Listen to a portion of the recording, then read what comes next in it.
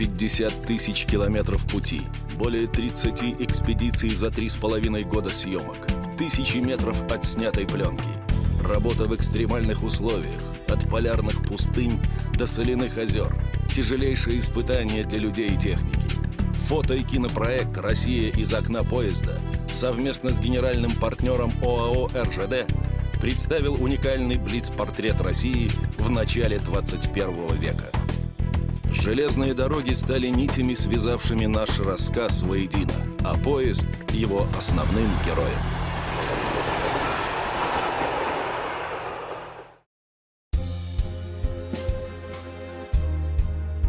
Октябрьская железная дорога, по которой сегодня путешествует наш поезд, объединила множество городов и станций нашего северо-запада, простираясь от центра Москвы до Мурманского Заполярья. Здесь практически каждая ветка играла свою немаловажную роль в истории. А пути проложены среди ландшафтов, от которых и у бывалых людей захватывает дух.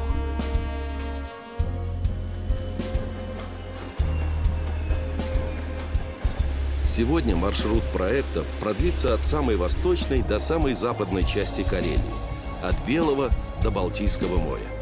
Мы пройдем путями поморов и схимников, осваивавших русский север, увидим одну из самых элегантных русских крепостных построек и побываем на настоящем поле брани эпохи Средневековья. Мы подъезжаем к месту со странным названием Кемь, известному всем по фильму «Иван Васильевич меняет профессию». Кемская область – это здесь. Отсюда мы собираемся переброситься на Словецкий архипелаг. Вот в мои прежние времена, я тоже много бывал на Соловках, и э, сообщение между Кемью и Соловками было очень трудным, хотя расстояние маленькое, всего 40-50 километров. Но административно Соловки принадлежат Архангельской области. И в то время найти транспорт из Кеми до Соловков, то есть из Карелии в Архангельскую область, было очень трудно. Вот посмотрим, удастся ли нам теперь преодолеть эти 40 заветных километров моря.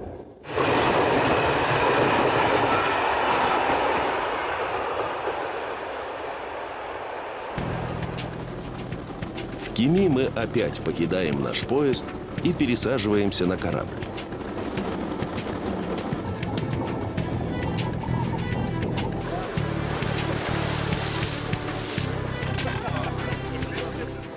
Теплоход этот ходит между архипелагом и Большой землей уже несколько десятков лет. Борта его поскрипывают при особо сильной качке. Но туристы и богомольцы, которых обычно возят на Соловки, народ невозмутимый и бесстрашный. На лицах окружающих нас людей ни малейшего волнения. А самые стойкие еще и устраивают песнопение, перекрывая крепкий порывистый ветер и крики чаек.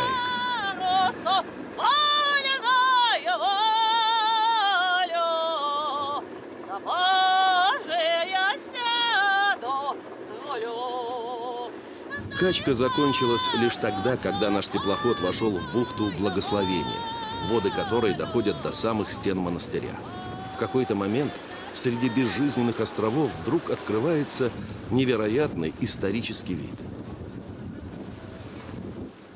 И удивительно элегантная набережная из тесаного местного камня с литыми чугунными столбами, стоящими на таких мощных костылях, вбитых в камень, и с весьма древними перилами. Вообще, Соловецкий монастырь и все, что вокруг, помимо значимости исторической и культурной, еще и удивительно элегантное место.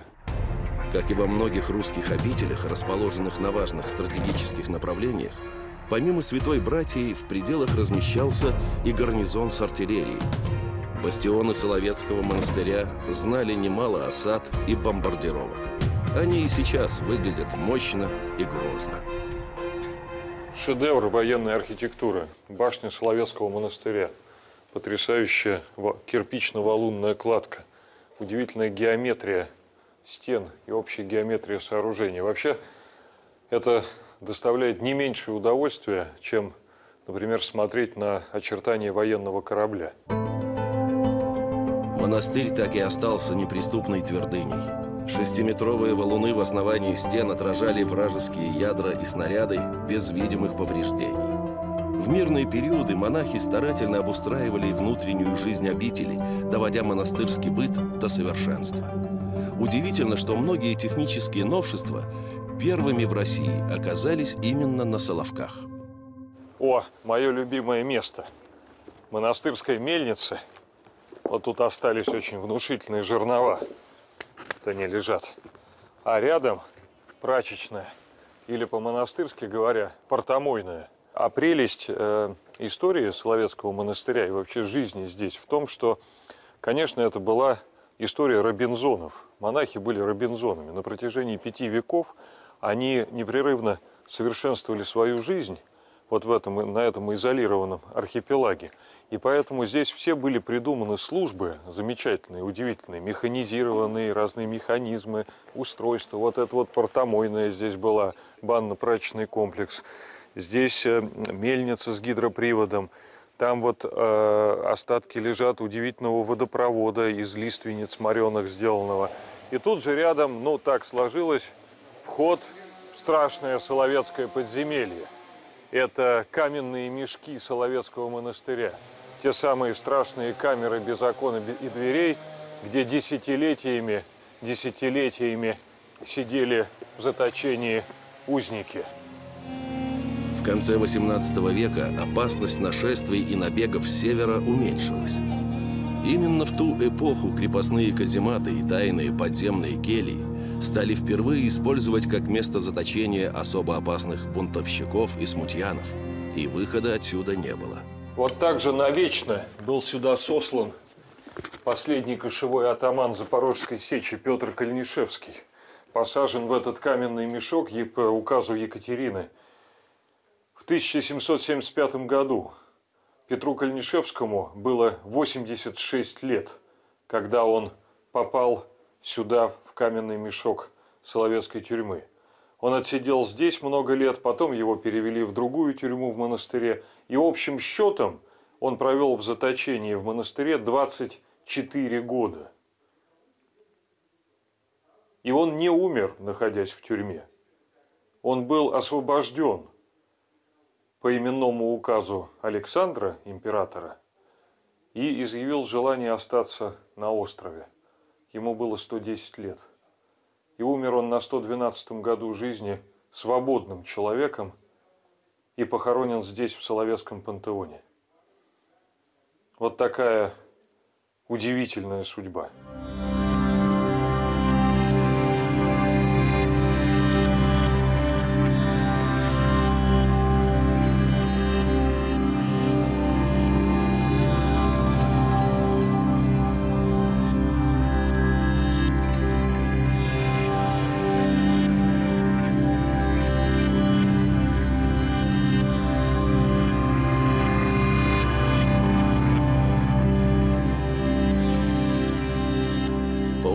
Проекта на изучение Соловков у нас всего один световой день.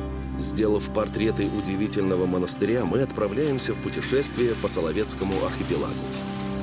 На картах здесь обозначена старая монастырская дорога. По ней, хоть и не без труда, можно проехать ко всем знаковым местам Большого Соловецкого камня. По дороге на Секирную гору мы нашли очень интересный исторический документ. Зачитываю. На Чудову гору вход женскому полу возбранен. По тому случаю, когда преподобный Саватий и Герман жили на сём месте.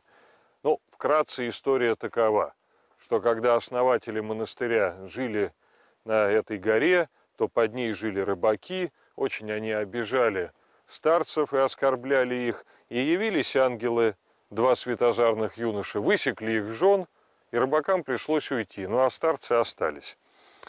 Но с тех пор женский пол, женский пол не бывает на этой горе по таинственному страху, написано на этой плите в 1857 году. То есть женщины до последнего времени действительно опасались подниматься на Секирную гору. Гора Секирная – высшая точка Большого Соловецкого острова. Ее венчает очень характерная для поморов церковь-маяк, к которому мы сейчас и поднимаемся. С макушки этого ледникового холма открывается невероятный вид на окрестные озера и дальние заливы Беломорья.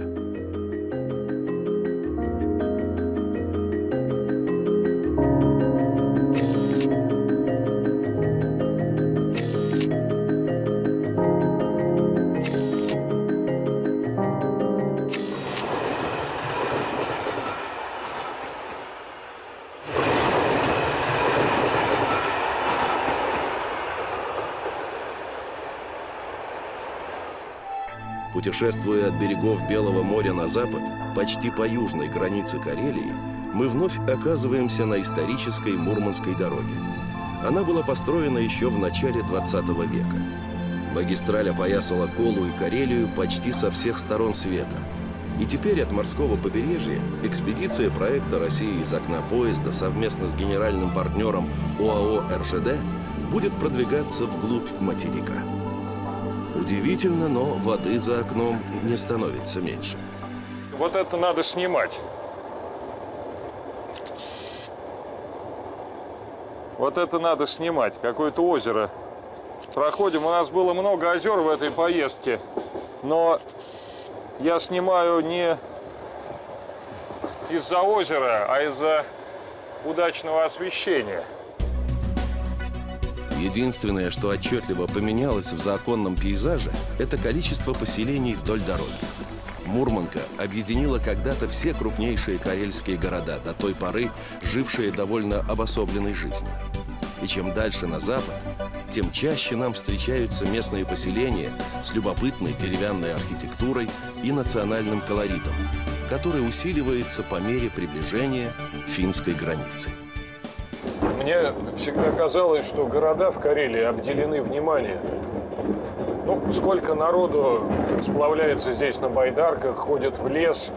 И обычно города карельские – это то, что как-то пролетом, проездом проскакивают люди. Ну, вокзал, лодка или что-то, лес, грибы, ягоды, охота, рыбалка.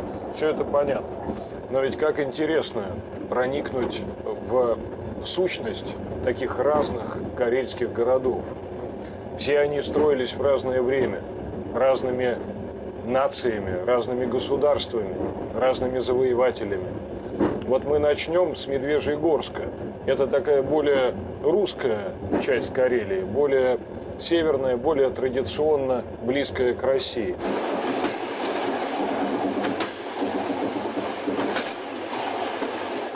Какого судака будем брать?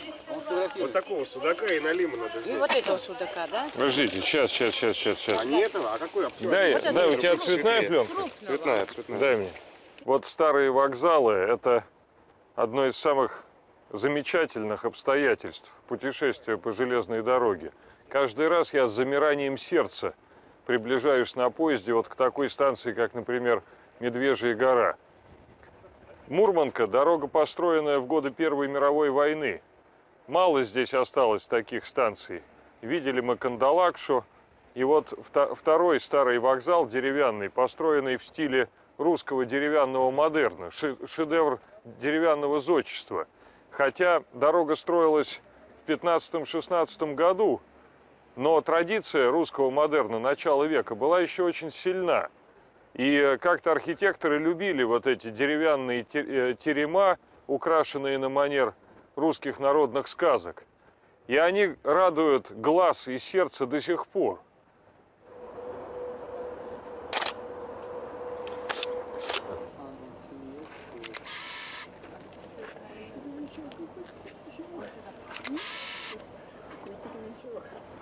Наш поезд приближается к западной части Карелии. Пейзаж за окном все больше становится похож на среднюю полосу России. Испарения гигантских озер смягчают климат, и природа становится щедрее на траву и цветы. Историческая Мурманка заканчивается в Петрозаводске, где мы меняем локомотив, пополняем запасы и сворачиваем на интереснейшие железнодорожные ветки в приграничной зоне нашего северо-запада.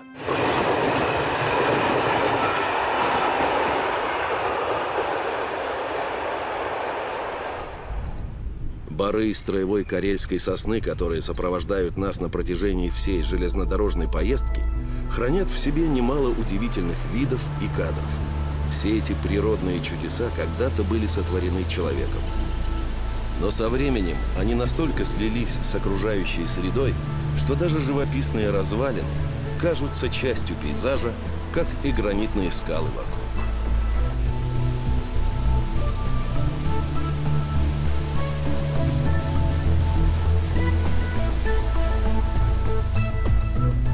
Знаменитый мраморный карьер Рускеала выглядит словно горное озеро в бездонном тектоническом разломе. Но и этот удивительный водоем – дело рук человека. Здешний мрамор ценился в столице не меньше Карарского и шел на отделку самых значимых зданий вроде знаменитого Исаакиевского собора.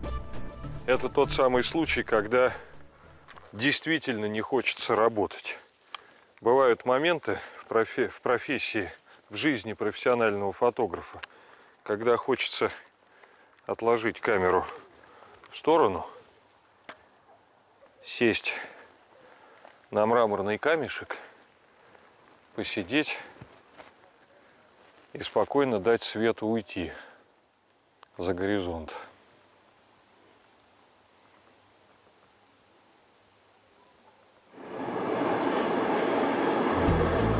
Дорога, по которой мы сейчас движемся, пролегла через весь Карельский перешеек, самую западную часть республики. В конце XIX века она объединила берег Ладожского озера с Финским заливом.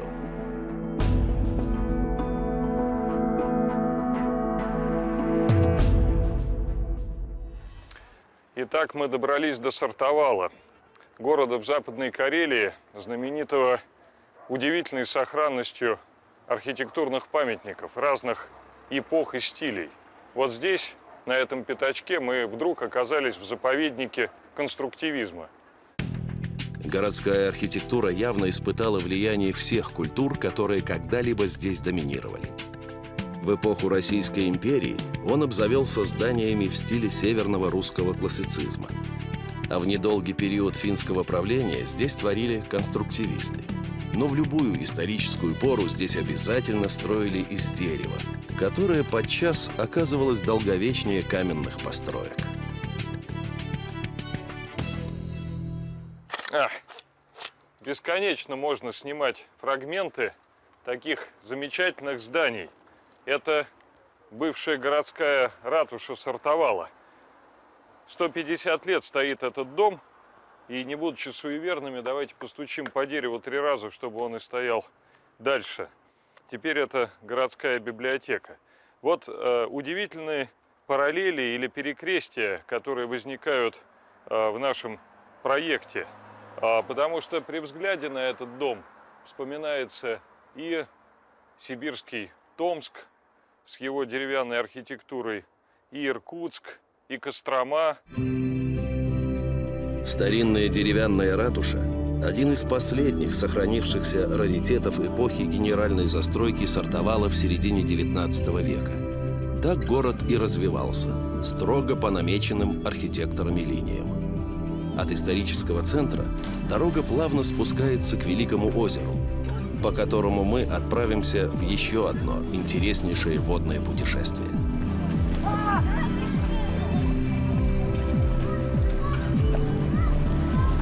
Для большинства туристов и паломников здесь начинается дорога на Валаам.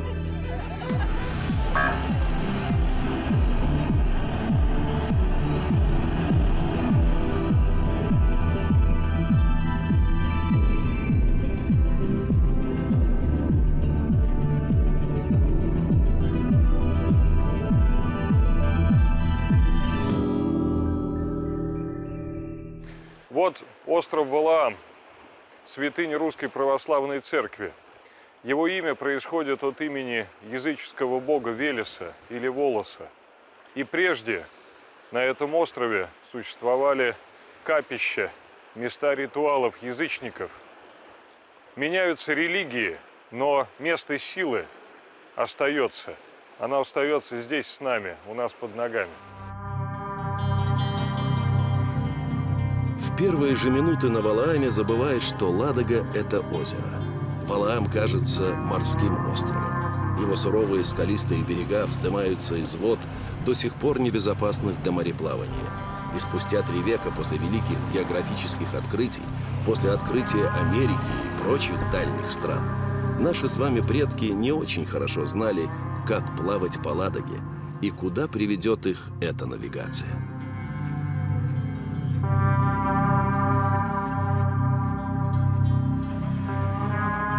Центральной части острова достаточно людно из-за паломников, стремящихся к знаменитой православной святыне.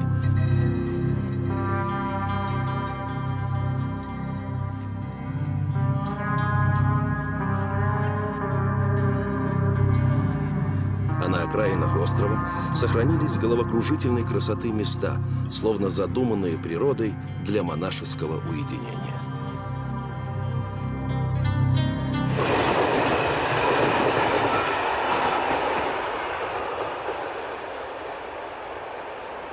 В последние годы с утратой Прибалтики Выборг называют единственным в России местом с европейской застройкой.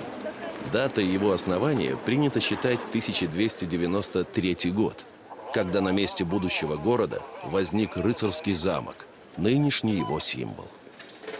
Настоящая средневековая европейская военная крепость.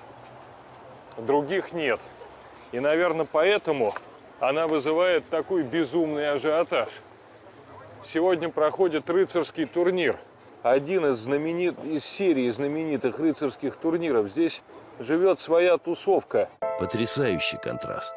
Только вчера мы пробирались по дремучим лесам Западной Карелии, где теряешься среди сосновых боров и озер, и вот мы в Выборге, мощеные улицы старинного города.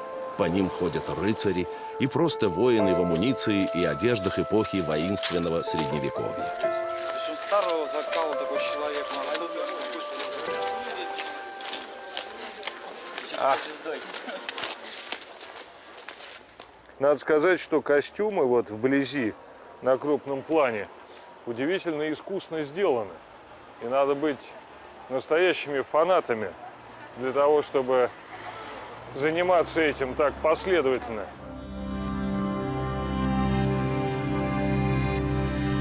Прямо на берегах Балтики разбиты удивительные натурные парки, которые за сотни лет тщательного ухода слились с прибрежными ландшафтами. Парк Монрепо, наверное, самый загадочный парк в мире. Его создатели и владельцы, семья баронов Николаи, задумывали его как замкнутый мир, как вселенную, как книгу, которой посетитель листает парковые виды как страницы, погружаясь в повествование, которое ему предложили создатели. Здесь все наполнено меланхолией. Это такой балтийский сплин, доведенный до совершенства. Здесь все наполнено мистикой, природной, рукотворной. Имя парка переводится с французского как «мой покой».